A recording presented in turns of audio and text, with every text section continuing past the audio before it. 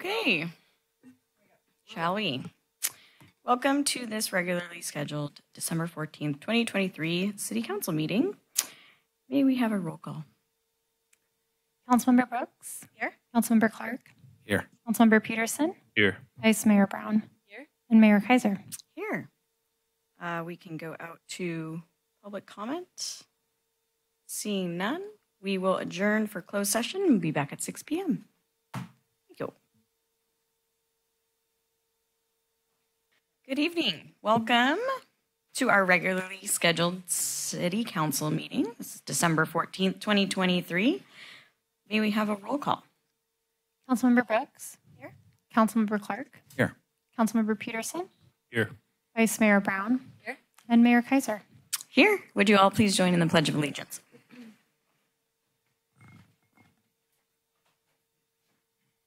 Allegiance to the flag of the United States of America and to the republic for which it stands, one nation, under God, indivisible, with liberty and justice for all.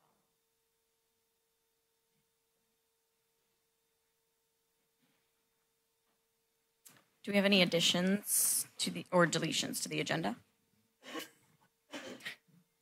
Staff has no changes to the agenda this evening. Thank you. And any report on closed session? The city council reviewed the items on the closed session agenda, met with their labor negotiator, and took no reportable action. Great, thank you. Additional materials? Staff did receive additional materials to tonight's agenda. Two emails were received related to item 8A. Two emails and a staff memorandum were received related to item 8B, and a staff memorandum was received related to item 8C. All materials are available on the online agenda packet in the back of the room for the public's review and were distributed to the city council in advance of tonight's meeting. Great, thank you. Does seem like we have a semi-full house tonight. May I get a show of hands of who will be speaking during public comment? Okay, great. Um, just be mindful that it is three minutes. Our city clerk will be diligent on that time frame, so um, we can go ahead with communications from the public. Who would like to come up first? Good evening, Mayor, Council, staff. I'm Carrie from the Capitola Soquel Chamber of Commerce, and I'm excited to announce that we're bringing back our Capitola Soquel Chamber Community Awards Gala. And so I'm just asking you guys to save the date and mark your calendars for Friday, March 15th at the Hotel Paradox. And we are excited to celebrate the amazing businesses and people that we have in our community. And it wouldn't be a party without you. So we'd love to have you come and celebrate our shining stars and our local legends. Um, the chamber office is going to be closed the week of Christmas and New Year's. So the week of January 8th, we're going to be releasing our nomination form. So be looking for that. And again, save the date, March 15th. And thank you for all you do for Capitola and for our community and for your support of the Chamber of Commerce. Thank you. Thank you.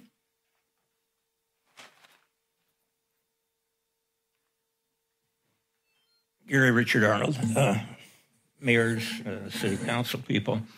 Um, I believe you've uh, betrayed the people and are oath to the Constitution.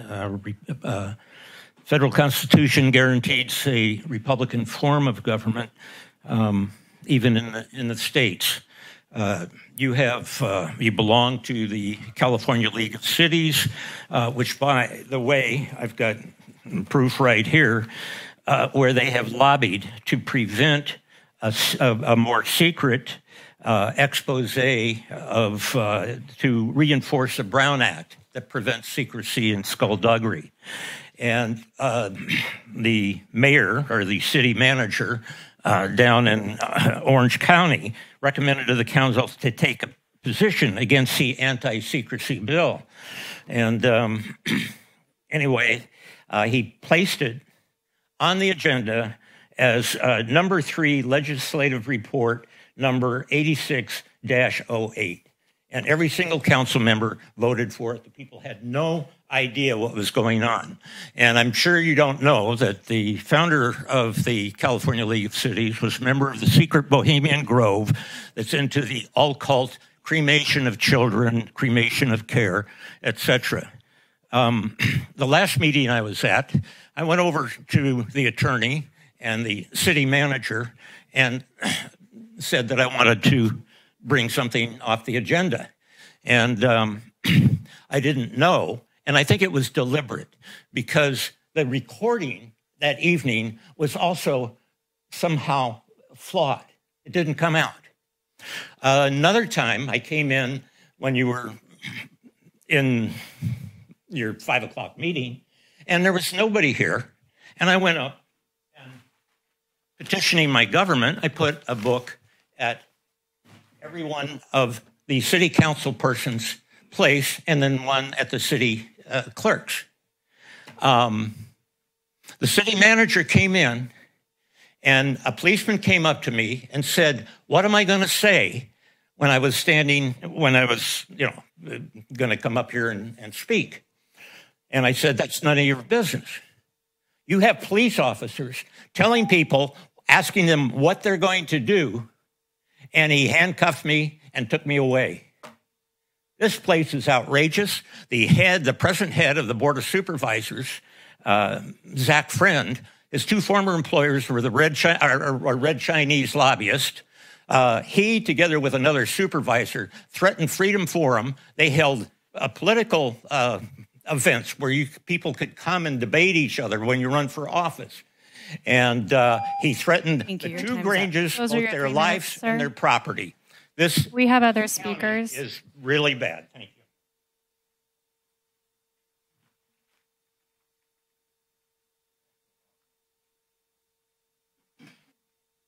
Hey everyone. I am really, really bad at public speaking, so we're all going to have to deal with that. I'd like to talk about one of the most dangerous intersections in Capitola. Uh, this is the intersection of Capitola Ave and Stockton Avenue. So you have the real estate office, the market, the psychic, and the shoe store. Uh, my understanding of California law is that when the daylighting law takes effect January 1st, the parking spot right in front of the psychic will no longer comply to the new laws. And it's a really dangerous intersection in that it's a diagonal. Uh, if you see the cars parked there, it's very hard to see people walking from that direction.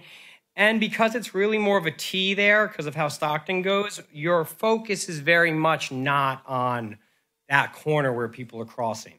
So, since the law is going to change anyway in a couple of weeks, uh, I wonder if we can start the process of getting rid of that parking spot and maybe look into all the other spots that uh, daylighting could improve this public safety in our community for.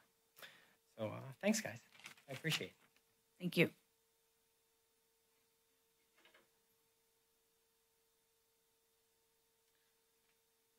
I'll sign in, but uh, my name is still James Ewing Whitman. I haven't been here in a while. It's amazing the traffic in this community. I was blown away. I took side streets from Mission and Bay, and it took less than a half hour to get here. Got here early enough to have a very pleasant conversation with two gentlemen that wear uniforms in this city. We were laughing a lot. So there's so much stuff going on that the citizens, I don't know, maybe they just kind of ignore. I don't really know why. Um, a friend sent me a kind of a gift program that I was watching before I was here. It's a film that was done in 1967 in Palo Alto high school I actually went to. It's called The Wave. The teacher was teaching about what Hitler was able to do, and the students just couldn't believe how the citizens in Germany just went along with it. So he kind of created this really simple process procedure that it only took a few weeks for the kids to get really indoctrinated in a way that they were really quite swayed. And so, kind of towards the end, there was a presentation, and um, it turns out that he was training them to follow Hitler. And the students just couldn't believe how easily they had been beguiled. I think there's a lot of beguiling going on. You know, I spent some time at the supervisors meeting on Tuesday. I don't remember the exact times, but after listening to some individuals that were so promoting the genocide that's going on now by the government that controls Israel, there were a lot of people in there were clapping and stuff, and I was so I was moved enough to actually say boo in a pretty loud voice for several seconds. I think that's it. I don't remember the time.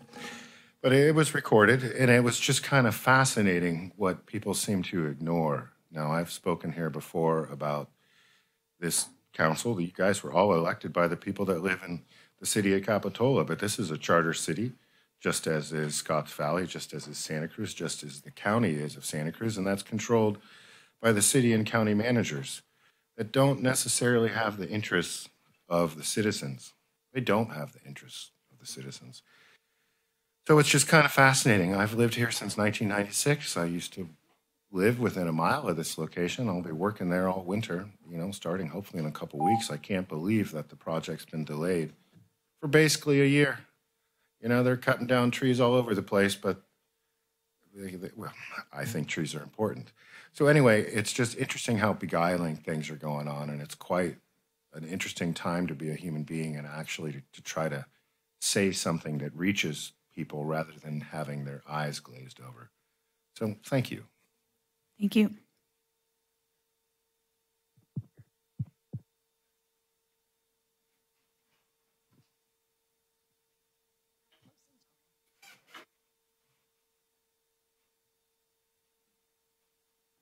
Hello, my name is Janet Edwards, and I'm a member of the Elderly and Disabled Transportation Advisory Committee from the Santa Cruz County Transportation Commission. Okay, it's long. Yeah, mm-hmm. we call it ENDTAC, the RTC.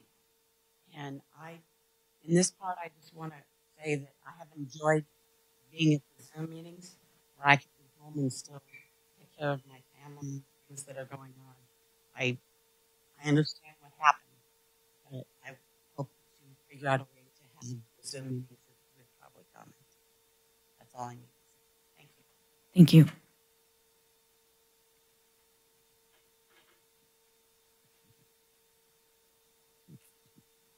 Any other public? Okay.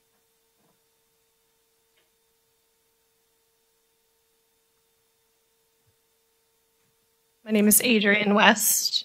I'm the daughter of Deborah Town, who was killed in a crosswalk recently on Bay Avenue. Um, I wanted to come here and ask all of you after tonight's meeting go drive by the intersection of um, Bay Avenue and Hill Street and the Crossroads Loop and see how dark it is there at this time of night. Mom was walking at 8:15 in the evening, so you can imagine how much darker and harder to see the crosswalk. Um, in t- 2022, someone died after being struck in the intersection of Bay Avenue and Hill Street.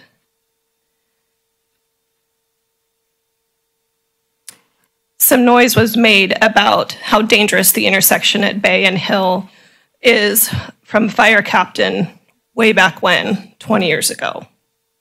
And still no changes have been made. And no changes have been made after my mom's accident. I ask you this question why, just outside the police department, there are flashing stop signs with yellow reflectors on the bars of those stop signs or the poles, and why we can't install those quickly. Explain to me why it's okay to keep waiting to do anything to help the public feel safe walking there. And explain to me why you can't have the crosswalks repainted, specifically the one where my mom was struck. You can almost not see it, even in daylight. And why the streetlights are not protecting the people. They are faded and yellow, while the PD has lights that are bright like daylight, like the sun shining in the sky. Explain to me why you are all waiting to make any change to help keep people safe. Thank you. Thank you.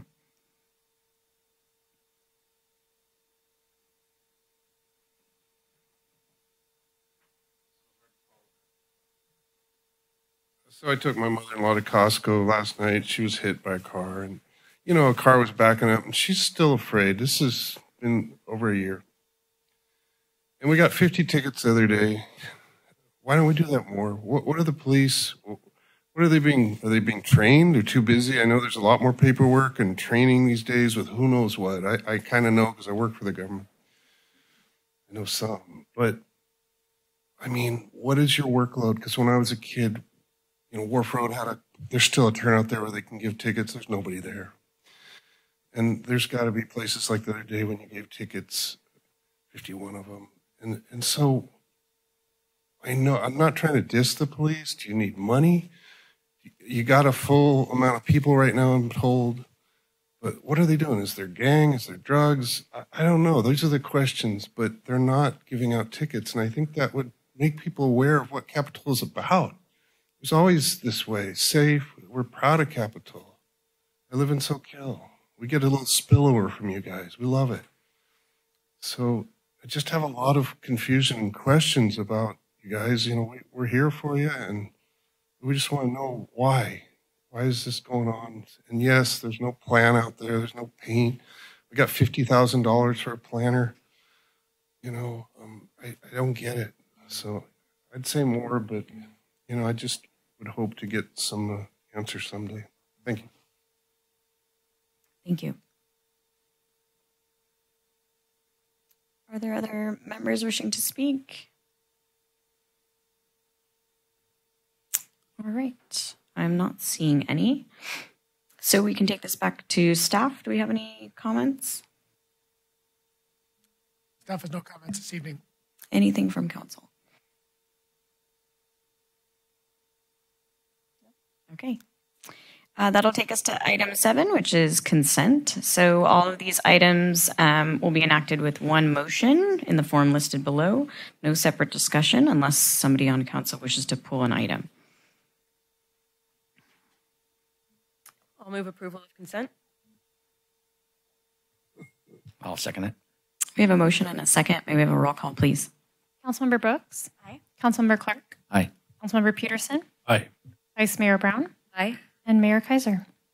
Aye, thank you. Passes unanimously. We'll take us to eight, which is general government this evening. Item 8A, Bay Avenue and Hill Street traffic safety update from Ms. Kahn.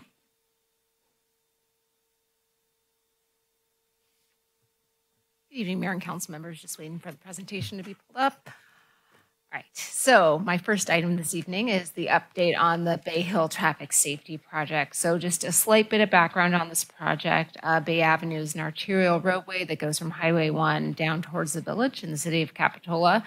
There are documented issues with pedestrian safety. Uh, there's congestion during peak hours. It is a main uh, route to the neighborhoods, but also to the middle school on Monterey Avenue. And to that effect, the council allocated 50,000 budget, $50,000 in the fiscal year 23-24 budget to address some of these issues in the intersection. Next slide, please. Um, so this is the timeline that was uh, included in your staff report, uh, just briefly, because there's more detail in uh, uh, the slides. Um, there was a presentation of the options to City Council back in September of this year.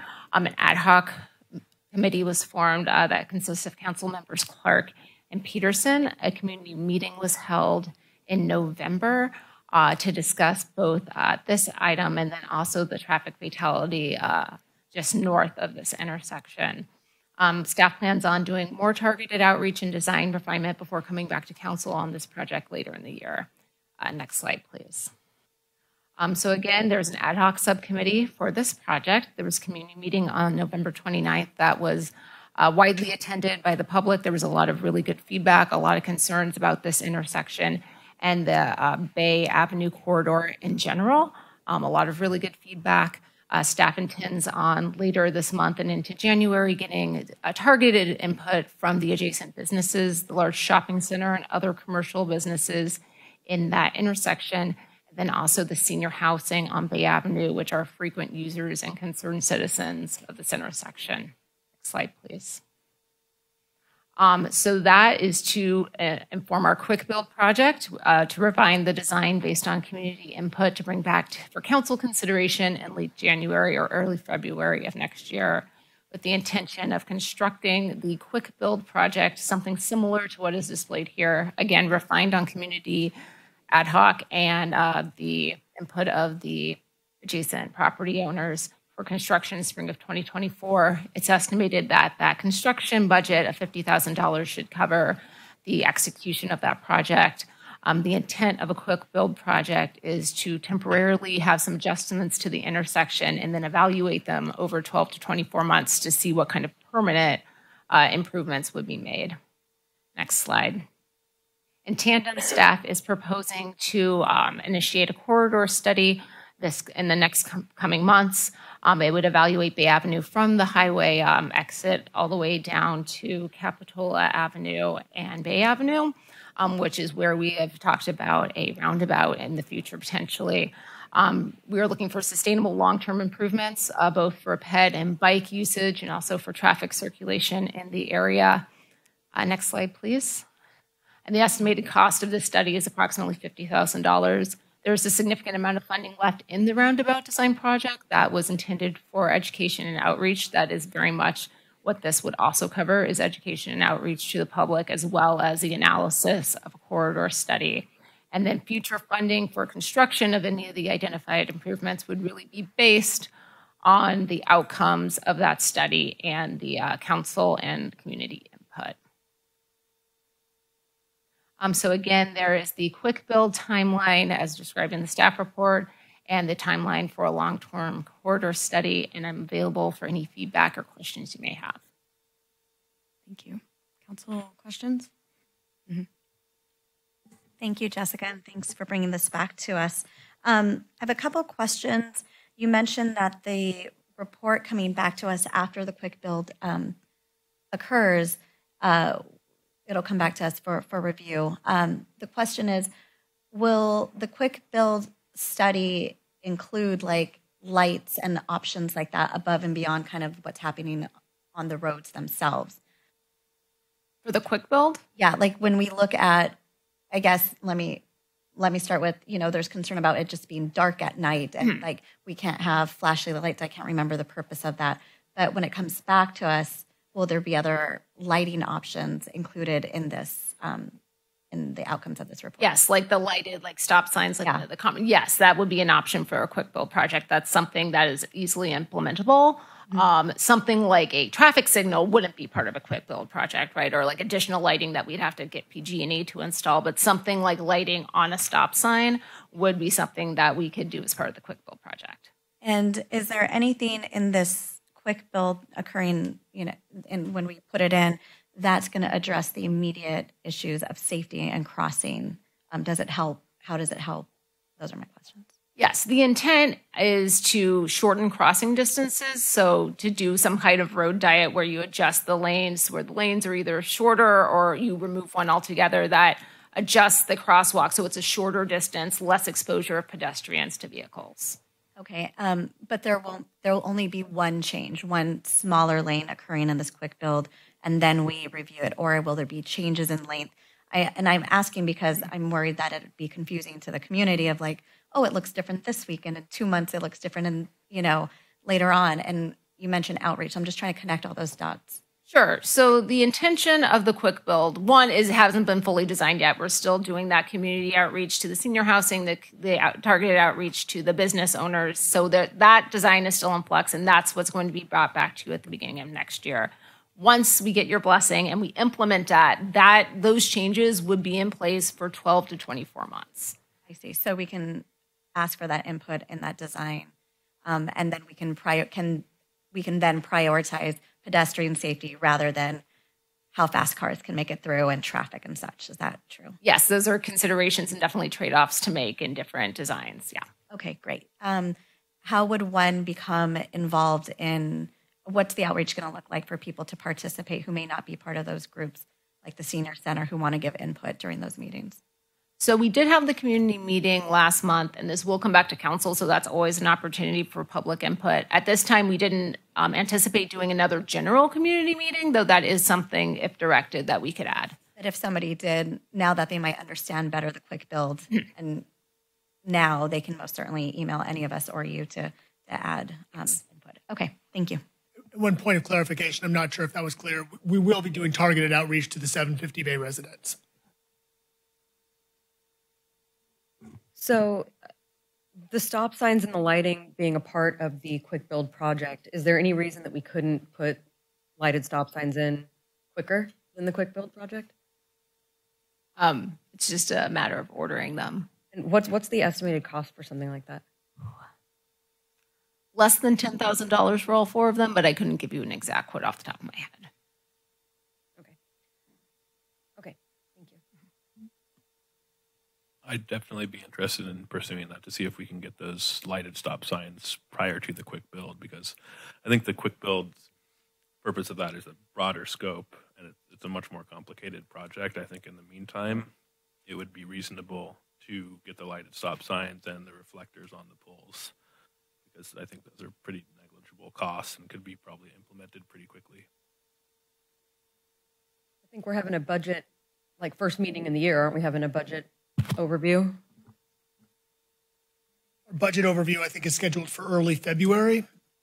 So this project, our goal is to bring it back on January 24th, but it may slip to February 8th. Just depends on how quickly we can schedule the outreach. So But there could be like in the first January meeting, potentially at least an estimate of the cost and how, how fast it would, just information. I think even informational for us would be really helpful to find out how much would these cost? How fast would it take for them to be delivered? How fast would it take for them to be installed? I just think the more information, the better right now.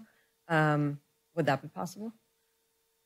we can do that the first meeting of January, or you can bundle it with the quick build kind of project presentation. We'd have a full project budget, timeline, kind of the decision points, the results of our feed community feedback. I think the sooner the better on, on anything that we can do quicker than the quick build. If that's the council's consensus, we don't have to bring it back in January. We can, we- we have budget, and you could give us direction this evening to proceed with the flashy stoplights, stop signs. Right? Yes. Yeah. Should I motion for There'd that? be two. I think we need four. Be, well, It would be ideal to do four. You want this, it- they're all in one intersection. You would want the same treatment on all of your signage. on the Bay Avenue. So there's two in each direction on Bay Avenue. I'm sorry, that would make it six. You're right, there's two stop signs on each approach of Bay Avenue, so six signs total.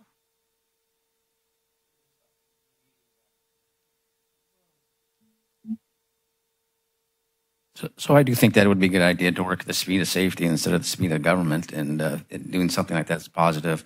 As long as we can incorporate it with our overall plan, I think it's a great idea. Yes. Um, how would that incorporate with the quick build? You know, what is that? I mean, it's coming back January 28th. Does that confuse the process, make it more challenging to follow through on other items? Or to get your complete honesty, was it going to be at the end of the day that we were going to go with flashy lights anyways? You know what I mean? So, I'd say the only potential negative is that with the quick build, if we design it where we don't need that many stop signs in one intersection going the same direction, we might remove one. Mm-hmm. That would be the only consideration off the top of my head. Okay. I thought we were talking about implementing these prior to the quick build. Is that not the case? So what, what would you need to move forward with this quicker than the quick build project? If you gave us this direction this evening, to, we can pick those up. Or we can start the ordering process. I don't know what the lead times would be. It may ultimately sync up with the actual construction of the quick build. There may be, you know, again, I'm not a traffic engineer, but it may be that they would recommend actually putting them in in conjunction with the new striping just to alert people that things are different. Um, so I don't know. There may be a recommendation from a traffic engineer who would say, I- I'm out of my I'm out of my depth on this one. That you know, putting it in a month ahead of time wouldn't be as smart as putting them in together. But we can order them if you guys give us that direction this evening and start that process. I'll, I'll motion to order We're not there yet. We're not there yet. No. Do you have any more questions, council? Okay. Now we can take it out to the public. Any public comment on this item specifically? Yes, good evening. My name is still James Ewing Whitman. You know, I've been commuting in this county over the hill, across the hill for 25 years since 1996. You know, I can't believe how many people I almost see a day running stop signs right in front of me. When I was driving up Soquel earlier in the week, and crossing traffic was a man in a wheelchair going the wrong direction, and I I think he was less than 100 feet away from me before I even saw him. And I was like, what's going on? So the loss is tragic. I personally gave up riding motorcycles at the age of 22 after almost wrapping myself around the same telephone pole three times. I know I'm not the sharpest tool in the shed, but at least I gave that up 40 years ago almost. So we all kind of need to pay attention because there's a lot of distractions going on with driving. You know, you look at the quality of the lighting. This room is 2700 Kelvin. That's actually quite pleasant. All the street lights, that's 5000 Kelvin. That's a really sharp light. I don't know how many people are affected by people's headlights that are driving towards them. Sometimes too much light can actually be damaging. So it's fascinating. I could be wrong, but it's my understanding that you're going to maybe do a study that's costing $50,000 where you could order some equipment right now for $10,000 and someone could probably donate that amount of money to you guys. So it's it's nice to hear some action from you ladies and gentlemen. I appreciate that. And who knows what's actually going to happen, but it's nice to be a witness to something small that's actually pretty big because what is the cost of a human life? So thank you very much. Thank you.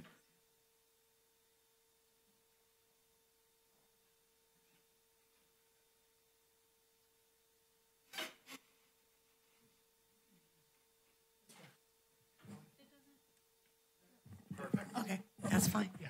Thank you. Again, my name is Janet Edwards, and um, being a member of E and D TAC, we would like for you guys, before you do this quick build, to bring somebody in that's blind and have them describe what it is. And to make my point, I want to tell you that I have never been to this building before, and I came like on Tuesday to make sure I could find a parking place. And I wanted to also make sure that besides the front of the building, I could park somewhere else. And I tried to find where the parking is for um, the upper lot. I went up the sidewalk. There's no curb cut. It's very steep. It was very difficult. Fortunately, a staff member from City of Capitola told me how to find the, the ramps and so forth to get to the upper lot. I would never have found it if somebody hadn't told me. There's no sign down here that says, go this way. It may be important. We have lots of visitors. You need to tell people how to go places that aren't usual. So I, the way to do that is to go in the elevator. I went in the elevator with somebody. I'm not sure I could have reached the buttons because I can't turn around in that elevator. We got up there fine. There is no sign that says this way to go out if you had parked up there. There is not one handicap parking in that lot. You guys need to find people that have disabilities that can see these things that you guys don't see. And a blind person at an intersection is very important. They can't look people in the eyes and say, oh, they're going to move. I shouldn't move. And one of your pictures has this big pot that you're proposing to block part of the traffic. I'm terrified that they wouldn't see me next to that pot. So please have somebody who's blind come and talk to whoever's planning it. You can work through me. I can leave you my information. Our blind person, who's our chairman, is out getting a new seeing eye dog. Um, if you contact me, if she isn't back yet, I can find somebody for you. Please, please have somebody blind walk in my shoes or their shoes. Thank you. Can I give this to somebody? Yeah, Julia, mind? Thank you. Thank you.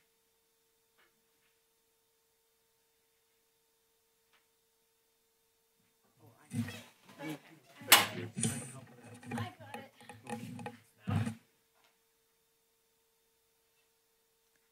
there anybody else wishing to speak on this item?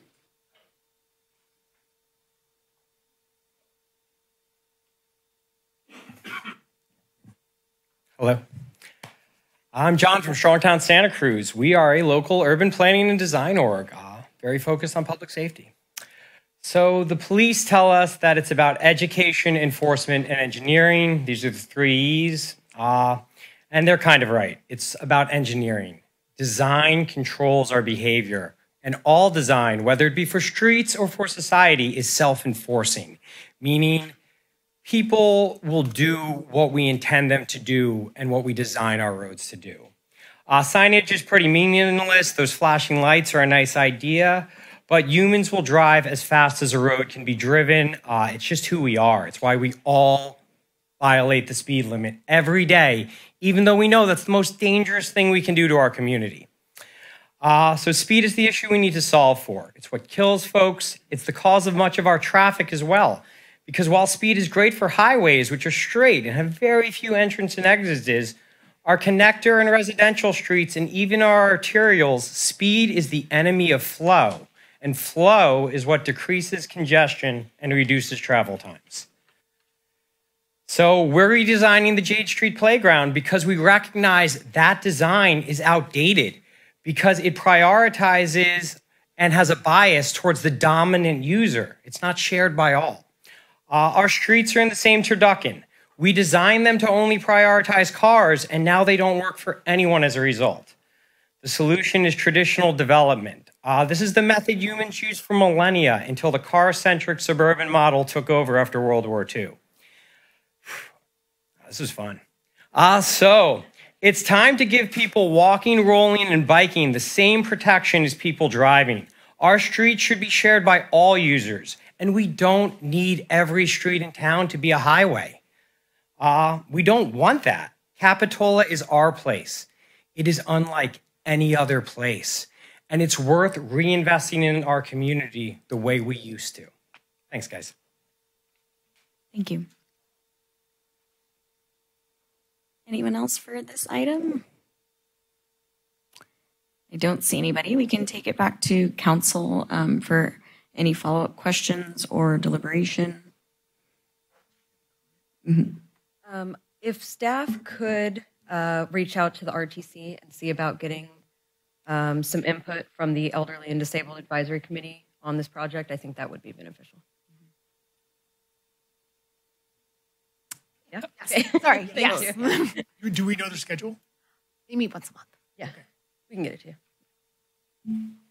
I had actually a question too about um, the painting for the crosswalk.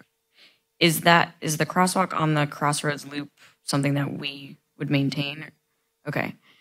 Um, and so would in, in conjunction with the stop signs lighting up, would that be would painting the crosswalks be something that's possible? As like a it is in our right of way so we yes we can. Okay. Okay thank you. Mm-hmm. samantha um, since the loop is not on the agenda today are we able to add that on in direction to staff this evening? Yes. Perfect. Um, go ahead joe. Yeah we could definitely bring it back our ad hoc committee to uh, our next meeting, the, the things that were ex- expressed today. And just want to say that we uh, we're, we're here at the council looking forward to getting something done because we know how important it is to everybody. So I just want to uh, let everybody know that it is really important to us. And, uh, it's great to be moving forward. Um, I'd like to request, or and if I need to make this in a motion, I know it only says direct staff, but um, if I need to proceed with the motion, please let me know that I'd like for staff to move forward with ordering as many as appropriate and flashy signs today that will go in conjunction with the the quick build. Additionally, to um, restripe the um, you make me nervous when you you do that. Thank you. Um, restripe the Hill Street corridor that we heard earlier from our speaker and anything else, because I might be saying the wrong streets, but I think you, I, I'm alluding to there's just new striping necessary for that area. If you can please look into that. Um, does this need to be a motion or can I just direct staff this evening? It can be direction, but if it's direction, in which case you, you don't really need a motion. It just would be good to hear if the council. Well, and I think this is something we would like to see, not necessarily part of this timeline that we're referencing, but like ASAP. Yeah. Right. That was my intent. Right. Can I just add something to that? I'd be interested if we could put um, the reflective tape on the poles as well. We could add that to it if everybody's fine with that. I'm great with that. And thank you to our speaker for bringing that forward this evening. And if I've missed anything, um, please reach out to staff if I if I've missed anything in, in what was presented. Thank you. All right. Everyone's in consensus. Great. That all we need. Good. Okay. I, I'm good. You need? Yes. Okay. I understand. Okay, awesome. Thank you very much. Appreciate all the hard work. Okay, so item 8B, it's our Capitola Wharf Enhancement Project. Also presented by Ms. Kahn, the recommended action tonight is to provide direction to staff regarding the re- redesigned wharf entry gate, additional fixtures, and authorize approval of two artist contracts, consider an allocation of additional funding for the CWEP project. Before we dive in, I just want to take a minute to thank everybody who's been involved in this effort. It's really been amazing to see the community come together. So many people putting in so much time to help our community and help our wharf. Um, it's really makes me proud to be part of Capitola. So I just wanted to kick that off, uh, make sure that everyone knew, staff perspective, this is really, it's really awesome. And we do have a large group of those members here this evening. So um, if there are any clarifying moments that are needed, we may reach out to you. Thank you very much. All right, good evening again, Mayor and Council members. As uh, the Mayor noted, there are several items to consider here on this item, so feel free to ask questions. So what staff is looking for this evening, the goals of this presentation are to receive feedback from the design and furnishings of the CWEP project, approve the artist contracts as they have quite a long lead time, and to consider authorizing city funding for the design elements of the CWEP project. Next slide, please.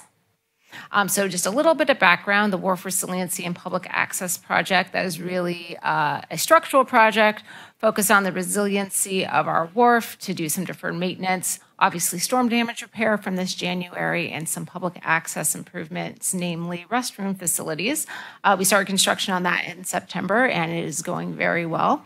Um, in tandem with that, a group of very dedicated community members have um, started up the Capitola Wharf Enhancement Project. So this is an independent project from our public access project, is funded by private donations, and really the purpose of this project was to provide new and upgraded amenities or jewelry to our uh, wharf project to really make this project be a better place for uh, public access and education. Next slide, please.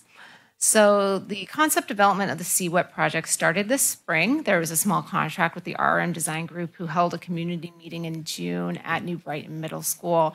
And then the council also approved an agreement with Wharf to Wharf to administer the funding uh, for the fundraising of this project. Uh, the conceptual approval came uh, to council in summer of 2023. There's an associated resolution with that that really outlined the final scope of this project and gave preliminary cost estimates. And then the projected fundraising of this project on the onset was $250,000. Um, so this is one of the outcomes of that effort with RRM. It really just kind of gave some visual depictions of some of the upgrades uh, considered for this project: benches, a fish station, some public art opportunities. So this is really where we started from in the scoping of particular elements for this project. Next slide, please. Um, this uh, table was included in your staff report. This is the table from the um, resolution, and that first column is the um, estimated funding from the or estimated cost of the elements from the onset. The last uh, column there is our current estimate of these components that we're going to go into more detail on following slides. Slide, please. Um, so this image is a bit different from the image that was included in your agenda packet. I will also say that that prior image was also preliminarily presented to the Planning Commission last week as an unagendized uh, staff comment, and also to the uh, Art and Cultural Commission this past uh, Tuesday. Um, there was a bit of miscommunication between staff and the CWEP group about the kind of final design of this entryway as uh, detailed in the staff memo that went out in the extra materials. Uh, so, for complete clarification, we are moving forward with this preliminary design for uh, obviously pending council comments and uh, planning commission comments for the entryway. Um, two items that you can see on this rendering are the uh, tiles on the bottom part of the piers of the entryway, and then also a little harder to see on this depiction are a fish in the um, in the walkway of the wharf, um, and those are both artist um, artist commissions that we'll discuss on the next slides. Also important to note for this updated entryway, this would be a refabrication. Um, the old pillars, we can't just stick the old pillars on top of these new, nice, lovely art um, items. So doing this design would also require the refabrication of the entire entryway. Next slide, please. Um, so the proposed artist for the tiling work is Kathleen Crocetti. She is a very prominent artist in the community. She has done a lot of work in neighboring cities. This is an example of some of her beautiful work in Santa Cruz. Um, the work is proposed to be glass rather than tile because glass is more suitable for a marine environment. The total uh, proposed contract is $41,000, and that'd be both for those bases of those columns in that rendering and also an independent donor wall um, to recognize the donors of the CWEP project. Next slide, please. The other artist component of this project will be bronze features, so inlaid fish flush with the decking, which is kind of what is on the uh, right there, um, leading to informational panels, kind of like a scavenger hunt for um, interested parties. Uh, the artist proposed for this is Sean Monahan. He is up at UCSC, also a prominent artist in the community. And the proposed artist contract is valued at $27,000 for this work. Next slide, please. Um, some other amenities that have been identified for this project are updated lighting. Um, currently, there are three light posts that need to be replaced from the damage that occurred on the wharf over January. Uh, these lighting fixtures differ from the existing lighting fixtures and one that they're new. Uh, there's approximately 10, and then also that they would be um, situated on the decking of the wharf rather than the railing of the wharf as the current lighting is. Um, another amenity would be a viewing station. The proposed viewing station has two levels, one and one that's at ADA or also being able to use by children's height. Next slide, please. Uh, other fixtures proposed are new benches, tables, and trash receptacles. Uh, next slide, please. Um, other components, include these all being included in that initial resolution as items funded by this project, include station. The uh, CWEP group has proposed to do this work with volunteer efforts and still estimate that $10,000 of fundraised funds would be sufficient for this project. Uh, the historical signage for the wharf is something that is still pending and has a potential for outside funding, but no funding has been identified for it as of yet. Next slide, please. Um, another item which was included in the resolution as an unfunded item is a lifeguard storage facility, specifically for their jet skis. Uh, the CWEP group has indicated that they have donors who wanted to donate specifically to this element. Um, it's approximately $75,000 to implement.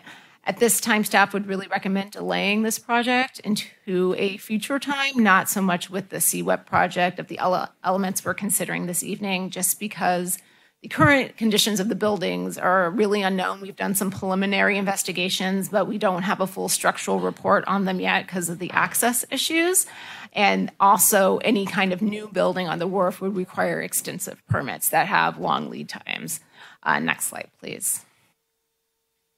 Um, additional funding requests by CWEP include bicycle racks, which are proposed to be split between the city and CWEP at $5,000 um, each for approximately, I, I want to say, five new bicycle racks. And then also proposed are additional features, including those bronze fish um, on the right image there. They're kind of the little dots on the other side of the stop.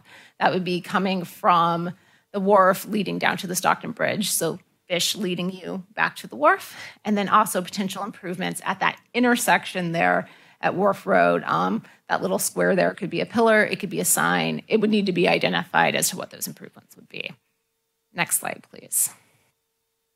So, in summation, the CWEP group is requesting that the city allocate additional funding to this project in the amount of $250,000, um, specifically in the fabrication, not the artist components, but simply the refabrication of that entry gate, the additional fish, the additional bike racks, the wharfward entry, and the installation of all of the mostly furniture, the lighting, benches, trash cans, the more furniture components of the project. So the prices quoted in the staff report and then also referred to early in the presentation are really just the purchase price of these fixtures and not and, and delivery, but not the assembly coordination um, and then affixing them to the wharf structure. And that's estimated at about $125,000. Next slide, please. Um, so the fiscal impact of this project, again, the tar- initial target for their fundraising goal, but see what fundraising goal was $250,000. They've at this point raised approximately $336,000 with more pledges pending. Um, there's pending funding for other items such as educational signage. Uh, staff has applied for a grant, is waiting to hear back about that grant for some other items to also go on the wharf. Uh, the phase two project uh, had a budget of $8.9 million, and then in the state budget had it was allocated additional $500,000. And the initial bid for the project was 7.7. Um, as you know, the wharf project's a very large project. It also included storm damage. Um, we did our best to assess everything before we started uh, the project. But in these type of projects, there are always change orders, no matter how good of a um, evaluation you did. So at this point, we're estimating the final cost of this project to be $8.2 million. Again, we haven't quite reached in the broken span, so there might be some more additional damage, and there's no real estimate at this time about any kind of rehabilitation expense on the buildings until we have a full workup of their damages as well. Um, so, doing the math for you, that leaves about $1.2 million of unprogrammed funds namely $750,000 from the general fund and $450,000 a measure of funds that were budgeted for the resiliency project that we don't anticipate uh, being spent on it at this time.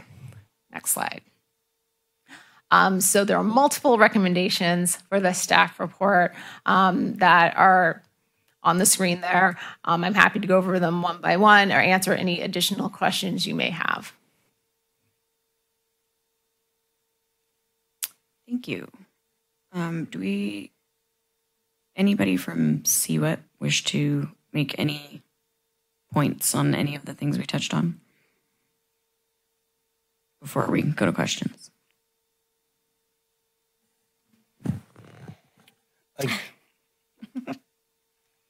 Good evening, and thank you very much for the opportunity. Um, first, I'd just like to recap um, just what um, the process that CWEP has gone through and making sure we reached out to the community.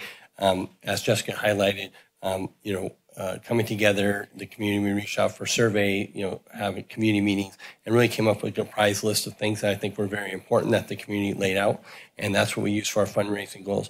Um, as noted, you know, our goal was to raise approximately $250,000, and after we comprised the list and we started working uh, with the city on trying to standard what, um, establish some standards of what that we should be fundraising towards. Um, we saw that that number was growing, and we continued to reach out to the community, which the community has been absolutely amazing on their support. Um, as noted, the number that we gave out to the city was 336. I think tonight somewhere 342. We have some uh, pledges that have been made, and we those aren't received yet. But we really feel um, at the end of our uh, campaign will be over $400,000.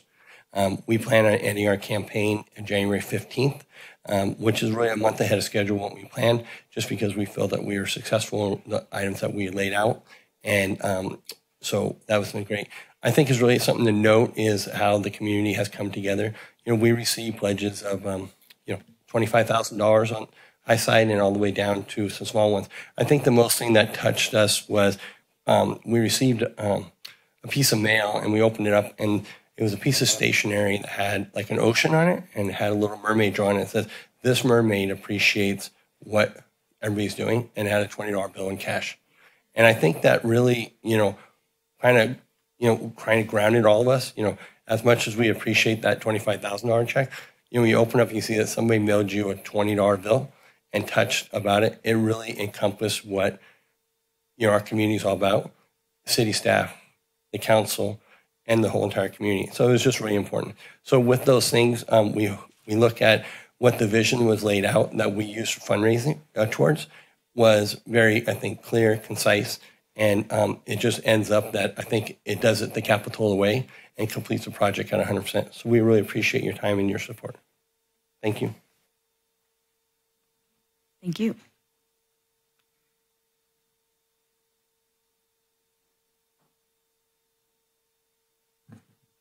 Good evening, council, staff.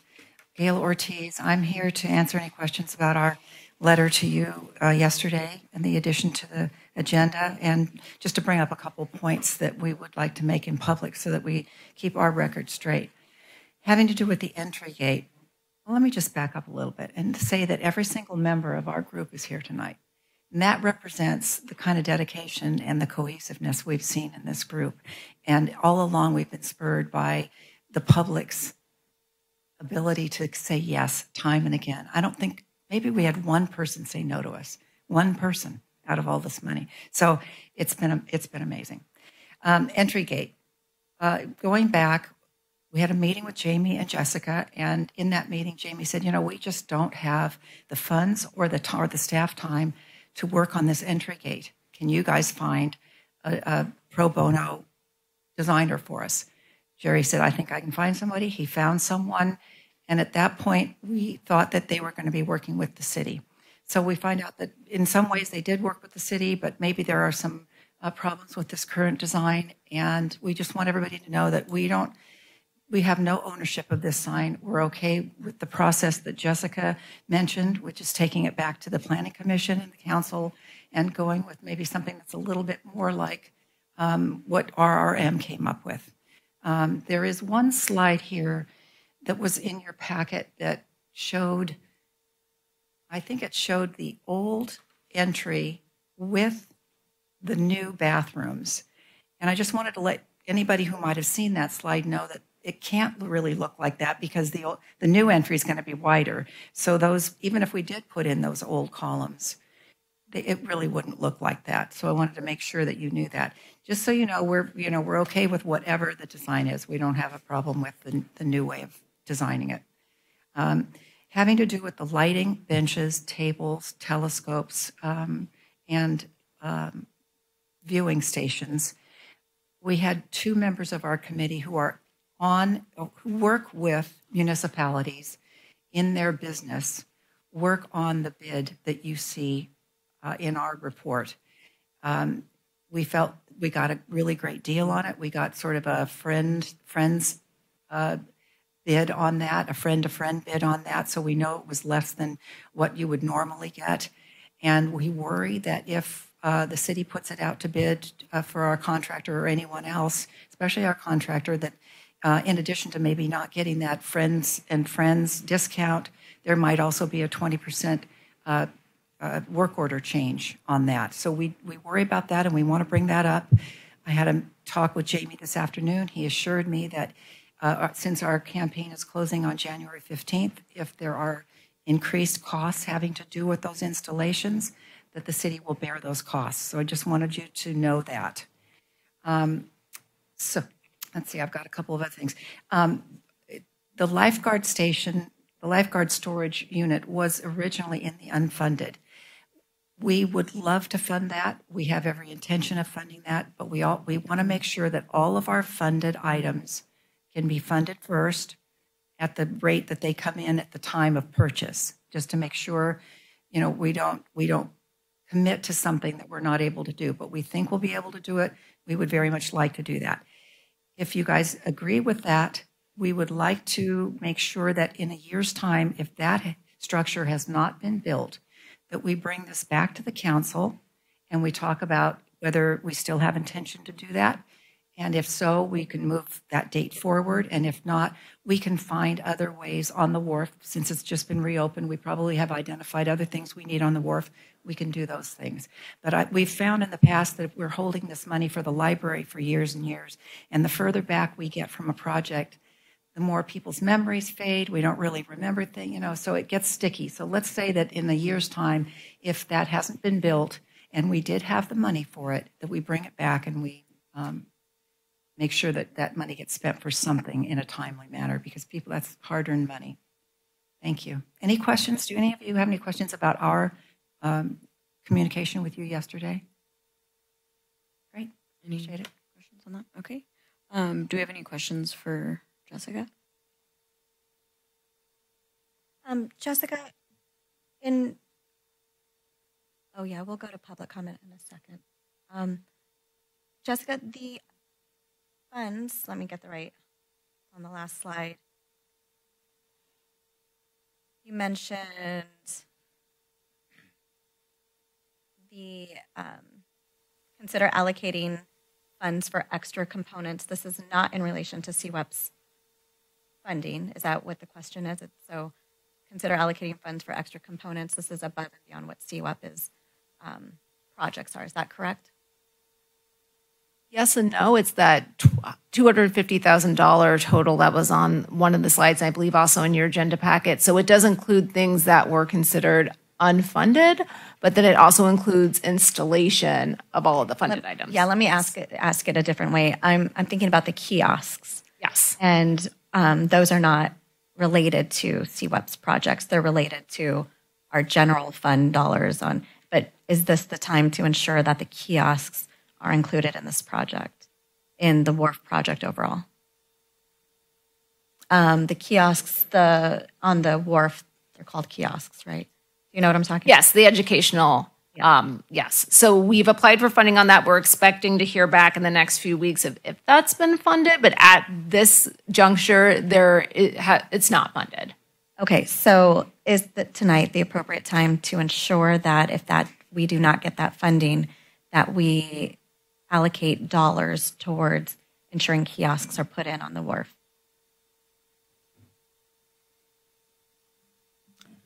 So we expect to hear back. What's the timeline on hearing back on the NOAA grants? For the first couple weeks of January. First couple Oh, weeks of but see, NOAA is for signage, not for the kiosks themselves, and that's next Tuesday.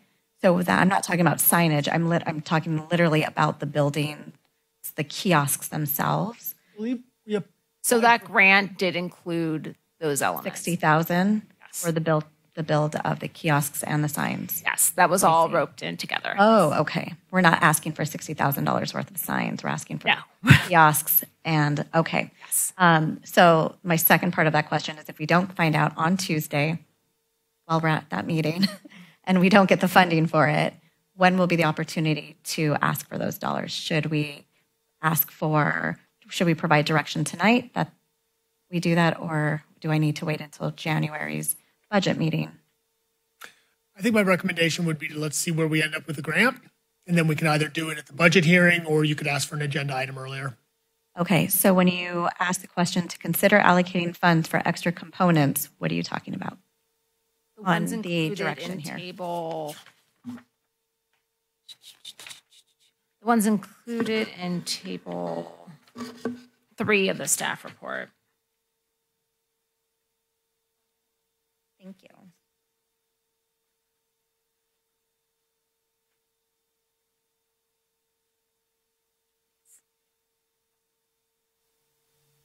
Okay. I see what you're asking now. Okay. And those are all my questions. Thank you. I had two questions. Uh, the first one is about the marine safety lifeguard um, building. I just had a question if we could identify the location and, and have uh, electricity and other things that might be needed done while we do the wharf instead of waiting until we find uh, out where we're going to put it later or something to that effect. Is there uh, anything we can do with that? So, without knowing the condition of the buildings, I would hesitate to do any more utility work in that area before we know the full scope of what we need to do. Okay. I was just thinking it might be easier while we're doing the build out to. I will say we should, oh, I'm sorry, that we should know the conditions of the building prior to the project being completed. So there would be another opportunity to make that evaluation.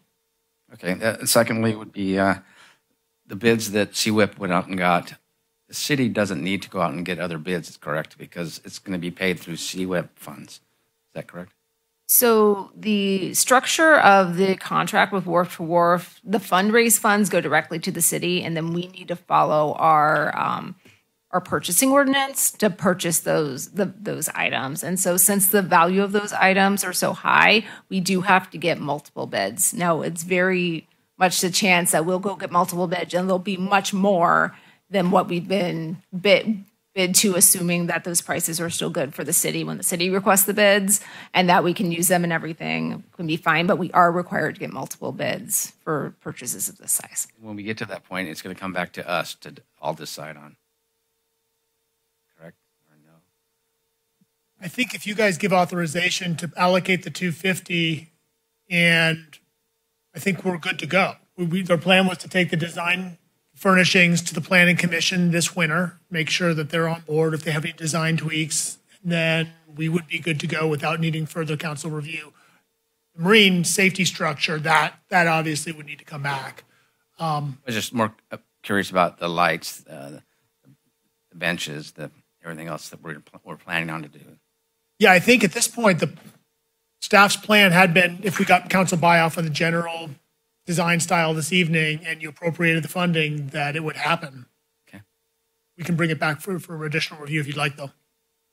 So what if it came back? Because you s- still need to go out to bid for those projects, right? So what if it comes back above the 250 that we agreed upon? Well, that's a good question. I think it comes back beyond the 250. The first thing we would do, number one, is is look for other project delivery methods. You know, Director Kahn talked a little bit about change ordering the project in with our current wharf contractor. There's obviously other ways we could do it, so we could try to pursue options to kind of reduce the overall cost. Um, second option would be ask the council for additional funding. Third option would be to scale things back. Um, I have a question about the Wharf Road entry pillar and the paver improvements. How far from where you come off of um, Stockton into where the start of the wharf begins are we talking about making improvements? Are we going to be repaving that entire road? Are we just doing pavers in the crosswalk and that's it? What What is the extent of those improvements? It would really just be the entryway. So right now there's the wooden sign. It would be some kind of upgrade to that. So probably just the pa- walkway pavers and some kind of improved signage, pillar, some other element to show this is where the wharf is. But it is not intended to do any kind of paving or concrete work. So I know quite a while back, and forgive me if this is like a little bit into the weeds, but I know quite a while back we were having discussions about like cobblestones or some kind of stamped concrete, so that we're not doing that anymore. It's just not part of the CWEP discussion. The latter, right? It's not part of the CWEP discussion. Obviously, that road's not in great condition. I'm not totally sure where it is on our uh, pavement management program, what year that would be in. Um, but when we do go to move to do that, that would be a consideration at that time. Okay. All right. Thank you. Um, about the gate. So when we're referring to the gate or this entryway, there is no physical gate associated with this, or is there? So, not in that rendering. There is a gate. There was a gate before we removed it for this project there. The intent is still to have a gate. So, when we need to close the wharf for safety purposes, we would have something to close. It's generally open. It is not on that rendering. But it is included in the. Yes, in the, co- in the cost, yes. Okay. I think that was all my questions, too. Okay. Uh, public comment. Anybody wish to speak on this item?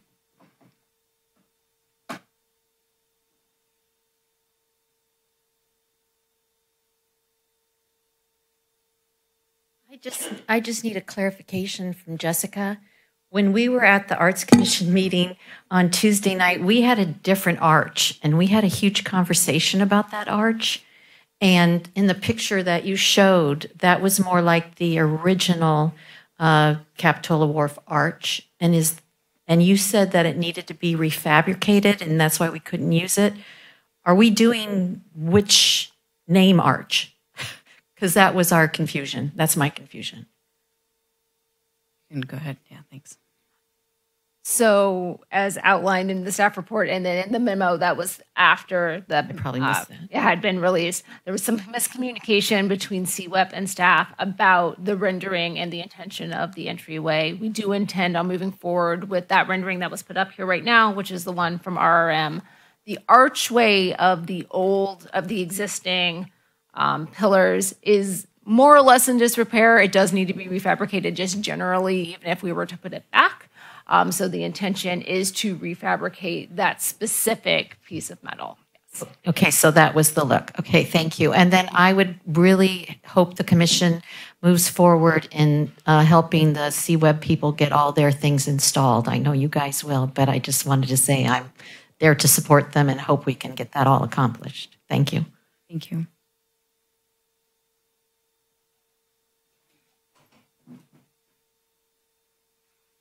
Good evening, Council. Christine McBroom, part of the CWEP committee. I just want to highlight, um, I think no less than, each one of these members spent no less than five to 10 hours a week for the past year. Um, it was important to us because our community spoke and um, that our community spoke loud. And so it was an honor to work with every single one of these folks um, to provide and give our community what they're asking for. So I'm just encouraging you. This is our community. They've gotten behind this. We've gotten behind this.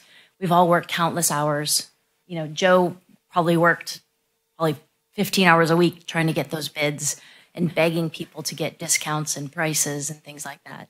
Um, Jerry as well, uh, countless hours. Gayle fundraising, but um, Vicky with the marketing, Karin with the marketing, Carrie, and it's just really important to us because the community has come forth and surpassed the goal that we ever had place in place. So um, I think that speaks volumes.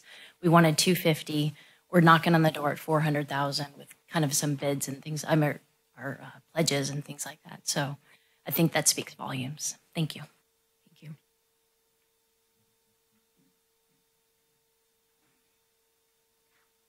Uh, Good evening, council.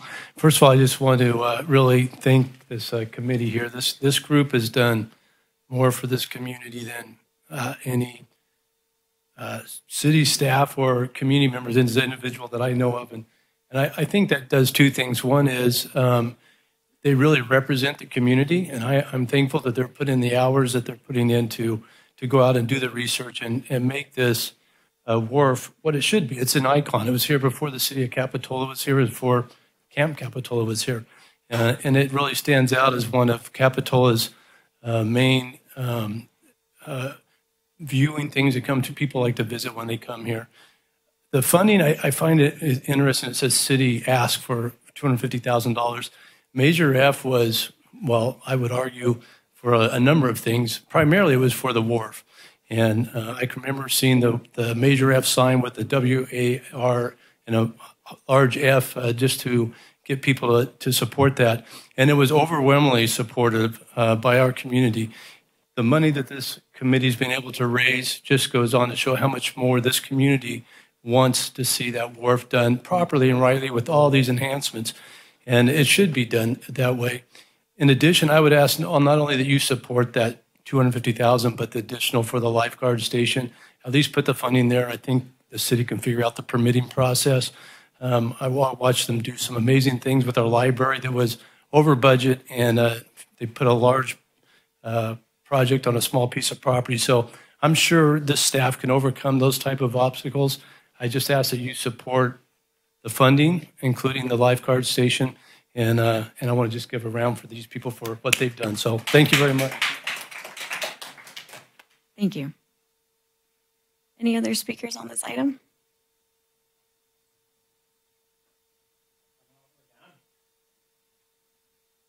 Hey guys, so I do have some thoughts on this item. Uh, the $750,000 from the general fund, let's not allocate it from that money. That's our tax dollars that will go right back into our budget, the way I understand it. And our budgets are not as robust as we think they are. Definitely fund the bike racks for $5,000. Uh, 10,000 total for the bike racks. Maybe just fund all of that from the city. The trail is going directly down Cliff Drive. We are going to see 10,000 bikes a day, they say, in high summer. And these will be electric bikes. These will be all these other bikes. And they will just drive right onto the wharf because there's no place to park your bike that's safe where you feel like you can leave it. You will just keep it with you. Uh, Yeah, I think that's all I got. They did crush it. Uh, my best modeling for them was $450,000, and that was with uh, a professional fundraiser, and they did this on their own, so they really crushed it. Thank you. Thank you.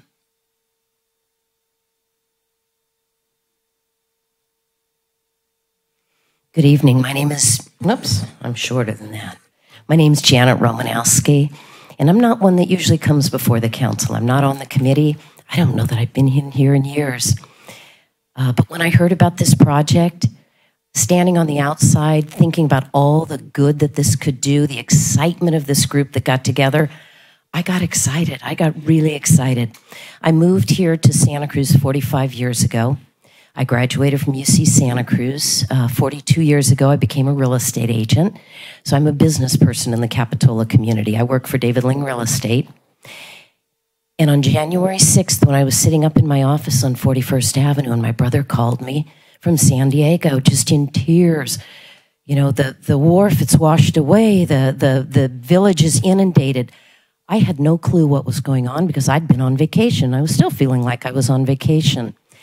I got in my car, raced down Opal Cliffs, and got to that area above the wharf where you look down at the wharf. And I don't know who, if any of you were there, but it was a very eerie feeling to be standing there in this odd silence.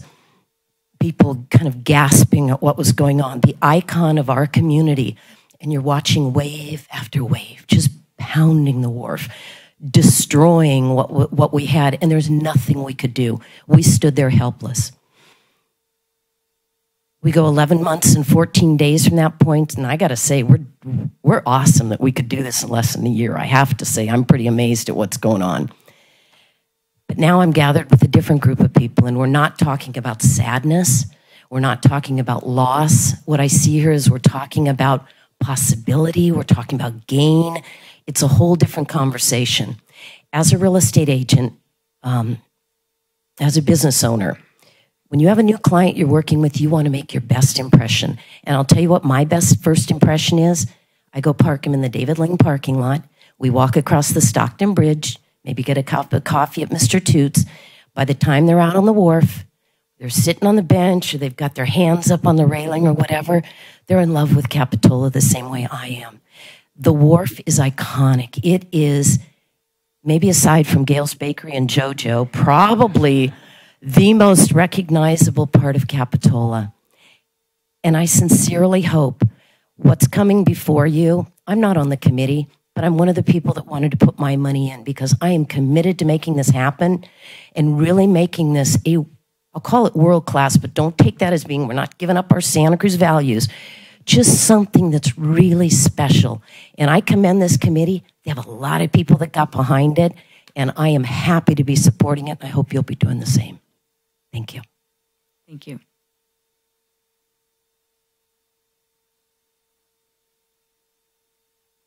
Uh, good evening to you all. I'm Dave Payton, a community volunteer, and tonight I'm wearing my uh, historical museum hat. And uh, I want to comment about the, the nature of this. Um, we're looking at something that's generational and historical. And I don't know if anybody in this room is going to end up being a Hihn or a Rispin. Well, maybe Gayle might. So, but it's going to take all of us to do this. And we know the funding for the, the museum's um, piece of the action here, the, the panel, the educational panel, and the um, the timeline for the the wharf itself is underfunded, and we're making every effort we can to to fund that and to take advantage of our wonderful curator who's here tonight, Deb Rosterman, who's willing to put all of this information together and has just a, a wealth of that. But what we're doing right now, in a in a very small way, and we heard Jerry talk about how there's checks for twenty five thousand dollars and those special envelopes that'll have twenty in it. Well, we have a way to spend a little bit of money and to celebrate the, the wharf. And we have a calendar. We have 50 copies of this, and we're uh, asking a donation. That's how the museum does it, um, of, of 15 to 20 dollars, whatever you can afford. And it has pictures in it of of the wharf in the past, the damage in the wharf. And if any of you have come out to the the festivals that we've had over the last handful of months, you've seen the table that the museum's had out there with with photos and pictures and, and illustrations of all the the years and years of the wharf, and to see the damage that it's had all these years and the the trials and tribulations that the wharf has faced. Well, we have a calendar that we're selling out of the museum. And we hope that you'll take advantage of that. I sold one already today, so tonight. So uh, thank you, uh, TJ and Connie, for that. So anyway, uh, we've got this, and we're working toward that goal to have what we need out on the wharf, little by little. I thank you very much. Thank you. Anybody else wish to come up? I don't think so. We can come back to council. Um, any deliberation or clarification? Comments? Comments? Um, okay, so I will start uh, first and foremost by thanking all of the CWEP volunteers, all the community members um, that donated. We are truly indebted to you for the time and effort that you've put into this. Um, everyone who has donated, the staff for all the effort that you have put into the collaboration in this process. Um, this is just, it's really exciting. It's, it's truly um, a testament to uh, collaboration within the community. And, um, you know, you guys said you were going to do something, and not only did you do it, but you exceeded what you said you were going to do, and that's incredibly impressive. Um, so, for the sake of discussion, I want to go ahead and make a motion to allocate the 250,000 and set aside the funding for a future uh, lifeguard tower as well. Yeah, I'd like to second that. But before that, I have some comments also. It is great to uh, be sitting here before everybody and, and uh, see what you guys have done. It's truly awesome. Um, I was there that day when it happened, and it was it was shocking. And, and and to hear little kids talking about it and older people talking about it, it's uh, it's it was amazing and remarkable. But just to see where we're at today is great. And I don't see him here today, but someone who's been working on this also is one of our prior mayors, uh, Dennis. Uh, he did a lot of work. Um, working on the front of the wharf and doing some rend- renditions for us and uh, everybody. It's just amazing that everybody's come together, done such a great job working all these things, and uh, it's easy, easy for us to, um, to say we need to do this for the right reasons. So I'll second that. Um, I just have some comments. I, I'm in. Yes, I agree with, with all of you. Yes, you are all Capitola's heroes, and we are endless, in endless debt to, to all of you. So thank you. I will tell you that for the rest of my life, my kids' life. We're, we're so lucky to be here, and thank you so much. Um, I have some comments about the entryway. um, so just that um, it's going to go back to Planning Commission, um, which I'm really happy that they'll get another opportunity to give input on this. And I lean heavily on my Planning Commissioner to, to provide input as well. Um, I think it'll be important that we think about less stucco and more mosaics uh, and ironwork on um, those pillars. There's a lot of opportunity on the left and right side for um, like as donor walls, like the donor tiles, and even highlighting CWEP if you create some sort of mosaic to say thank you to yourselves and kind of commemorate that. Just a, a little hint there. Um, I think that there's opportunity to even raise the right side of the wall a little bit to even allow for more donor space um, there. Um, so I have a sketch of some ideas that I'm happy to share with you. um, thanks to my planning commissioner also giving me ideas. So that doesn't come from my brain. No, they're like, you that what? Um, but oh, I mean, the takeaway here is I'm in full support of of um, of the 250,000. And Gayle, thank you for bringing up coming back in a year. I think that makes perfect sense. A year is not that long away um, regarding the, lifeguard um, life lifeguard thing storage um, and other things because there's just so much opportunity. And I will be at the Monterey Sanctuary Foundation meeting on Tuesday to help support us getting um, those educational kiosks. So, um, yes, but again, thank you.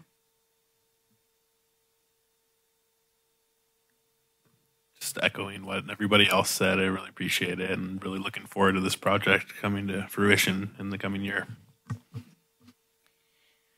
Well, I will too. Um, what a year. Um, probably the worst thing that could have ever happened the first week of my term as mayor. But look at you guys making me look good all of a sudden, a year later.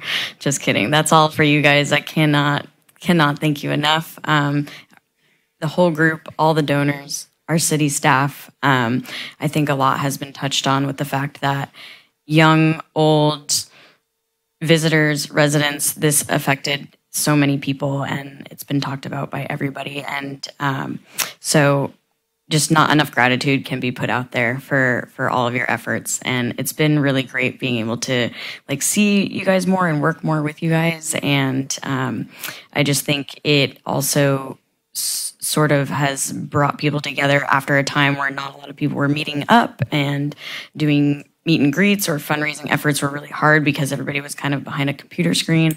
You guys have been out there in these streets. And so um, I am definitely in 1000% support. So we do have a motion and a second. Let's go. Roll call. Just kidding. I just wanted to uh, verify that the motion included the artist contracts. And then also the other item that was for um, council consideration was amending our contract with Cushman. Yes, all of that. Oh. Yeah. Do you want to do you want to read it off? Yeah, I'll read it. Okay.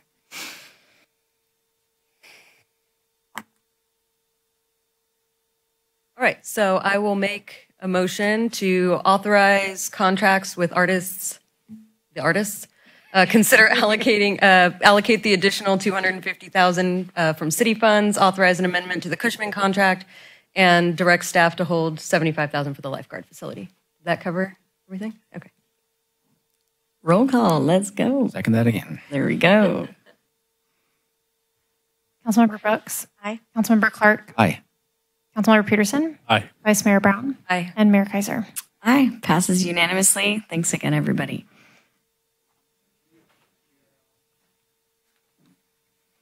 All right. This will take us down to item 8C, our strategic planning contract.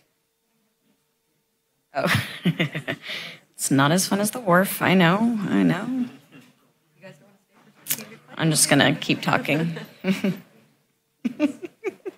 okay. The recommended action is to authorize the city manager to execute a professional service. I know, me too.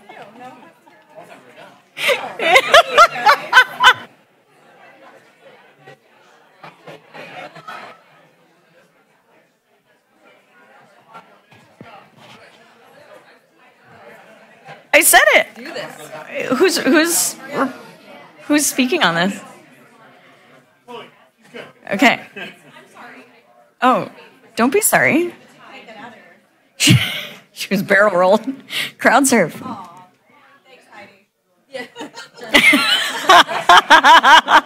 Move it to the front.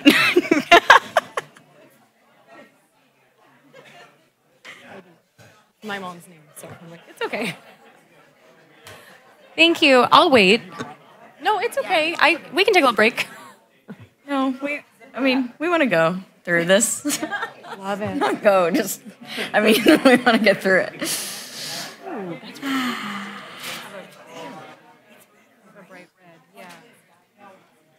Yeah, I, I have a hard time. I'm Jewish. All right, Chloe, feel free to start whenever you're ready. Thank you. Thank you so much, Mayor and Council. So, we'll be talking, this is going to be quick uh, strategic planning. Now, you may recall on our next slide here, I don't have this one, thank you, memorized quite well. Sorry. So, you'll remember uh, some background for you. Earlier in this year, uh, Council did identify during your strategic planning and um, the, excuse me, you identified strategic planning as a goal during your budget goal priorities session, and then did follow up by allocating $50,000 to such a project in this fiscal year's budget.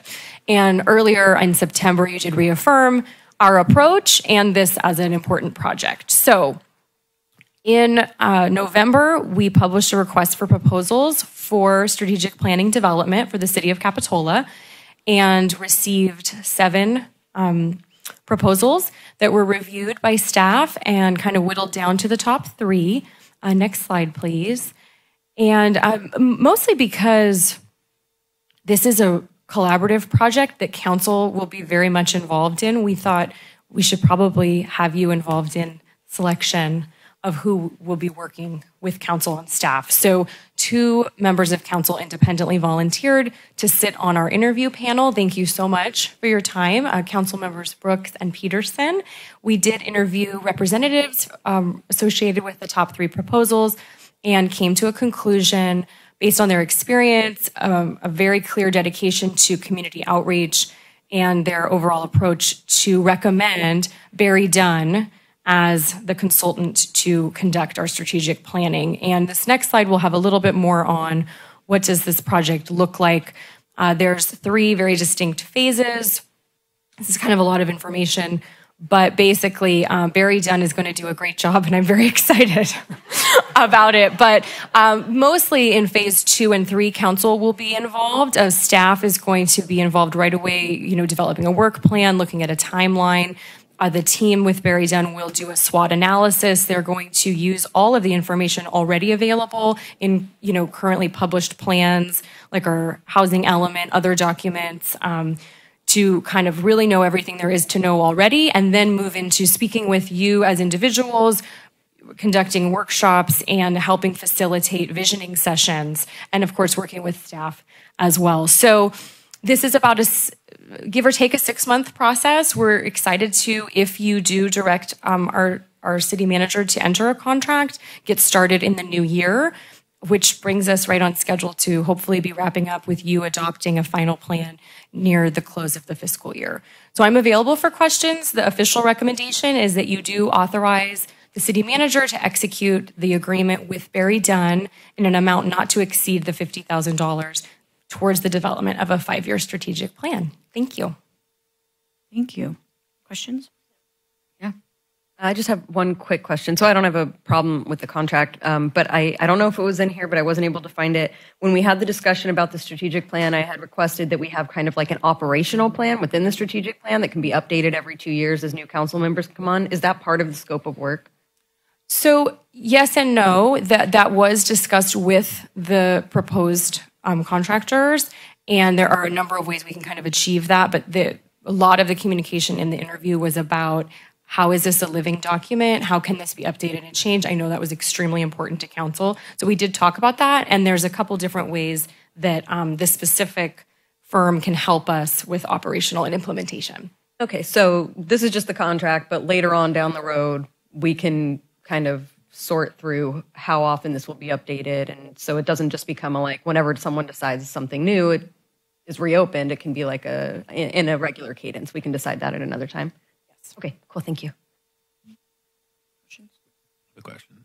Um, so I just thought it was going to be uh, more general, not specifically only focusing on the five years. Is it not going to incorporate some longer term planning as well? So, my understanding of the scope of work is that there's going to be two visioning sessions, and the first is much higher level and looking at your long term vision and goals, which could be, you know, 50 years, for example. But the actual plan and the published document will be usable, workable, a five year plan.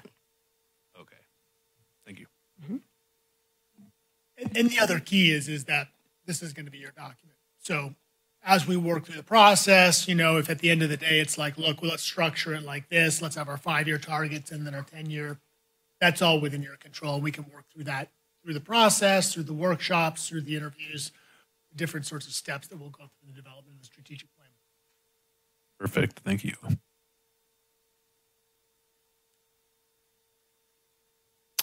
Public comment on this item? Seeing none. Back to council. Time to motion. Yes. All right. I'll move to authorize the city manager to execute a professional services agreement in an amount not to exceed $50,000 to develop a five year City of Capitola strategic plan. I'll second that. Great. We have a motion and a second. Maybe we have a roll call, please. Councilmember Brooks. Aye. Councilmember Clarke. Aye. Councilmember Pedersen. Aye. Vice Mayor Brown. Aye. And Mayor Keiser. Aye. Passes unanimously. Thank you. Takes us to our last item of the year. Oh my God. Okay. 8D, City Council Reorganization. It is now time to nominate and elect a new mayor and a new vice mayor. Is there a motion? to elect. Oh, any public comment on this? Any objection? Just kidding. All right. Uh, are we doing council comment? Yeah. I'd like to thank you, Margot, um, Mayor, for uh, a great year. Uh, I learned a lot, and it was um, fun to watch you do some amazing things. So thank you. Ah, thank you. Appreciate it. I'd like to comment as well. Uh, it has been absolutely an honor to serve as vice mayor to you this year. I know that you were, don't laugh, you're me. Um, you have brought a sense of um, just joy and, and um, liveliness to this that I think was really needed, especially this year, because it was really tough. Um, and I know that you were thrown into some really hard things at the very beginning, and you led us through it with uh, grace and skill and grit, and like really um, were just a phenomenal leader during this really tough year. Don't do that. um, and so, just thank you. We we are very lucky that that you were the person in this position this year. Staff also wanted to say thank you to Mayor Keiser for her term as mayor, and we have a small token of appreciation we wanted to present.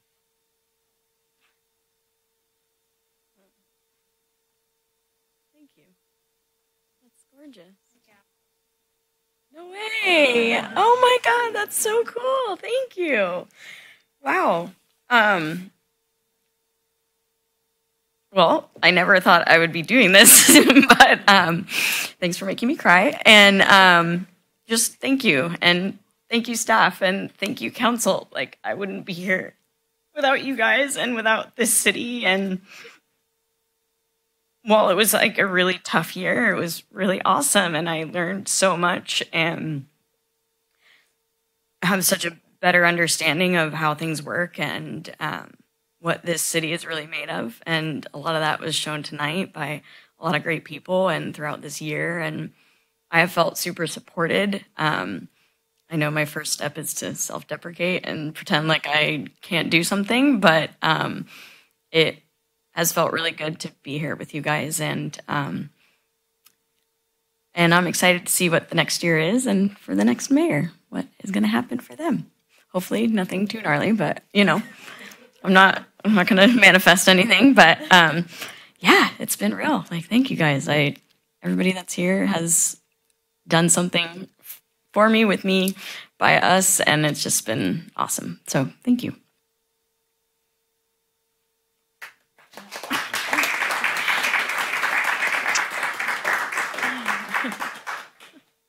Mayor Keiser, thank you so much um, for being by my side this year um, and the cities. I am so grateful for your interest and your time and your commitment to, to not just the community, but to me and supporting us on the dais and to be able to walk into a room twice a month with the group and feel like this is a safe place where we can all be heard and get things done. It's because of your leadership. And really, we're so honored to have had you this last year. So I adore you. You're not going anywhere. um, I appreciate everything you've done. Uh, with that, I'd like to nominate Kristen Brown to be our next mayor. I'm going to second that because I can. So we have a first and a second to nominate Ms. Brown as our new mayor. May we have a roll call? Councilmember Brooks. Aye. Councilmember Clarke. Aye. Councilmember Pedersen. Aye. Vice Mayor Brown. Aye. And Mayor Keiser. No longer, but aye. and next order of business would be to nominate um, our vice mayor. Do we have a motion? I will move uh, Councilmember Brooks as vice mayor for the coming year. I will also second that. We have a first and a second. Councilmember Brooks. Aye. Councilmember Clarke. Aye. Councilmember Pedersen. Aye. Councilmember Keiser. Aye. And Mayor Brown. Aye. That also passes unanimously. Congratulations, ladies. on our next year. I have no doubt of either of you being in those positions. There you go. You're the mayor. Wow, this feels like a really important responsibility tonight. uh, meeting adjourned.